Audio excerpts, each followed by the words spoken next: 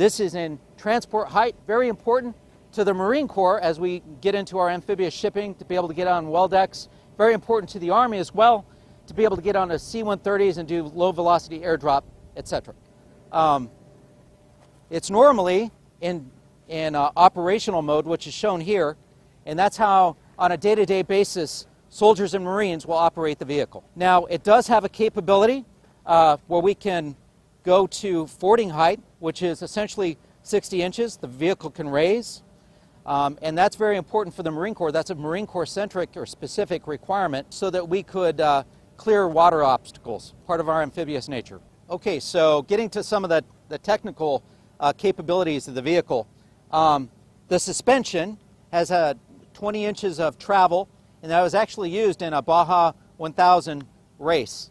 Um, it uses a Duramax uh, V8 engine, much like you would find in a, a, a Silverado or a Sierra pickup truck uh, that's actually been modified by Gale Banks for any of you NASCAR fans.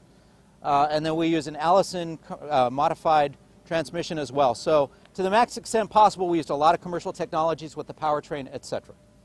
The, the JLTV is designed for survivability to meet a number of threats, uh, and it met all of the, both the Army and the Marine Corps uh, requirements as far as that's concerned.